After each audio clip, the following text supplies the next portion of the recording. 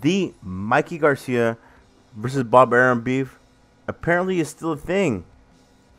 Well, at least on Bob Arum's side, according to Mike Coppinger, this past Thursday, March 21st, there was a top ranked dinner in Beverly Hills to promote Vasil Lomachenko's upcoming bout.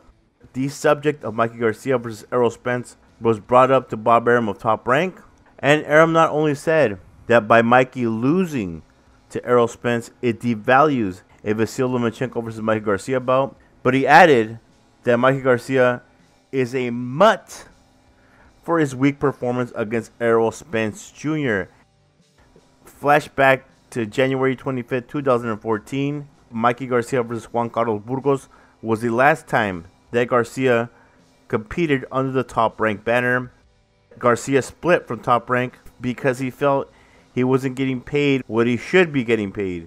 Garcia in that bout barely broke the six figures. Garcia in his last bout against Errol Spence was guaranteed $3 million plus sponsorship plus pay per view revenue plus gate. Garcia has stated since his defeat to Errol Spence that he still plans to become a five division champion. Nowhere yet when he will be back in the ring.